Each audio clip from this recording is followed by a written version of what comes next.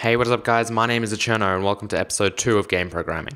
Okay, so yesterday we took a look at uh, creating a basic window, like in terms of resolution, right? We just set three variables, which essentially control the size of our game for now, anyway, because obviously we can change them in the future.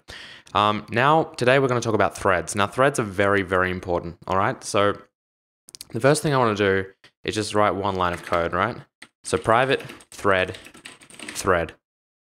Now, essentially what we're doing here is we're creating a private object so that it's only visible to this class, game.java, um, and we're creating a thread, right? And we've named it thread. So what a thread is, a thread in Java and in, in general in, in computing is it's basically almost like a process within a process. So if you actually open up all your processes on your computer, right, and you can do that by uh, just going to Task Manager. Um, if you're running a Java uh, process, for example, let me just find like this one, right? This is like the Java um, platform.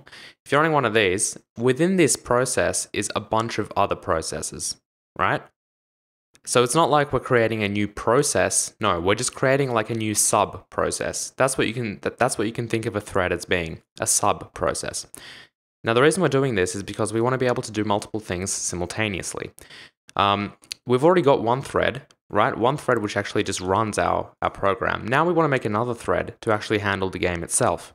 So that's what that's what we're doing here. We're creating a new thread object. Now we haven't started the thread or anything, so at the moment it's just dead.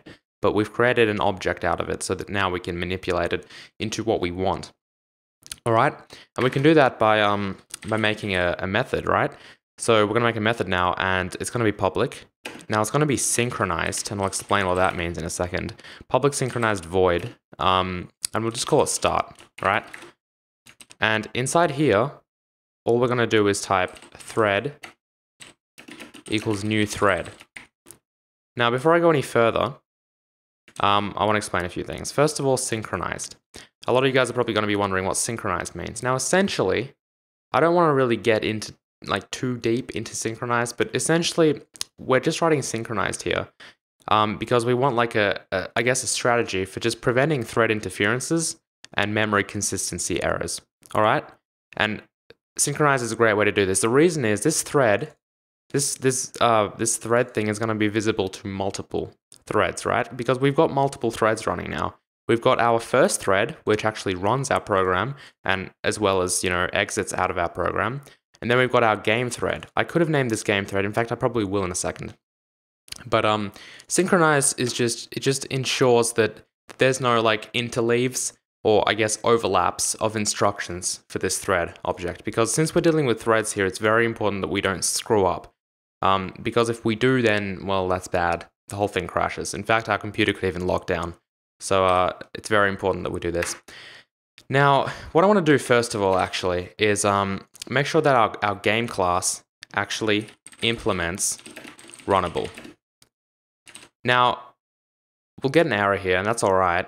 Um, but what this allows us to do is actually make sure that this thread object that we create, we can actually just put this in it now. If we didn't have runnable, we wouldn't be able to do this. Now, what this means is that the new thread that, that we're creating, right, will contain this game class, right? Hence, hence this, you know, same thing as writing new game, but we actually want this instance of game to be here. And that just means that this thread is basically attached to this game object.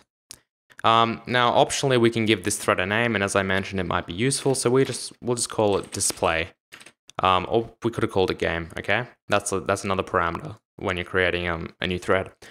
So um, so yeah, so now that we've created our thread, we need to start it because essentially what we've done is we've created a method to start threads. So let's start the thread. We do that simply by writing thread.start.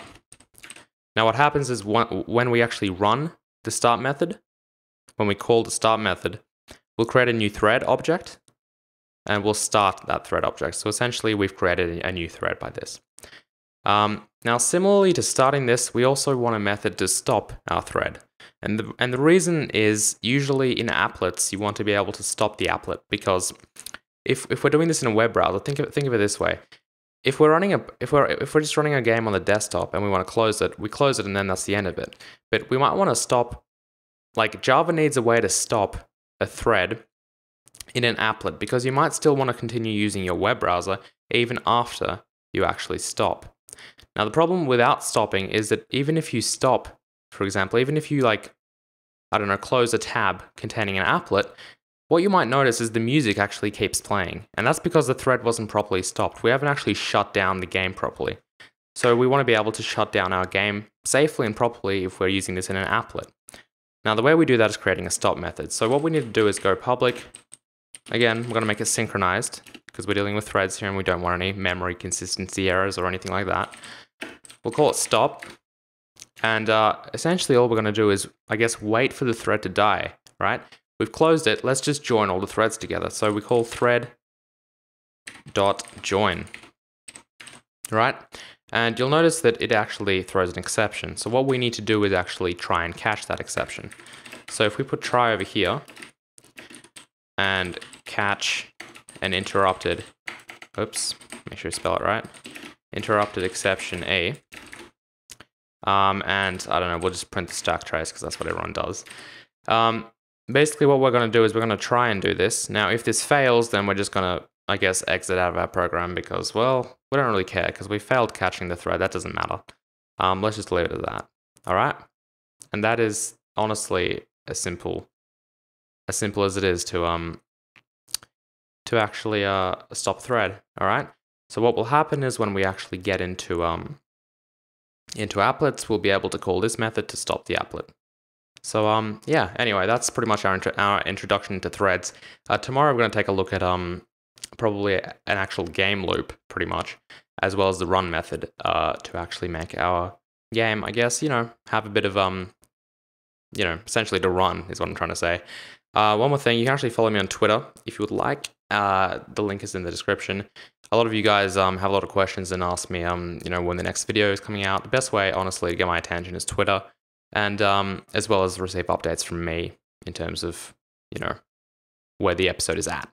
Um, so yeah, also if you like this video, please hit the like button, and I'll see you guys tomorrow with um with a new video. So yeah, later guys.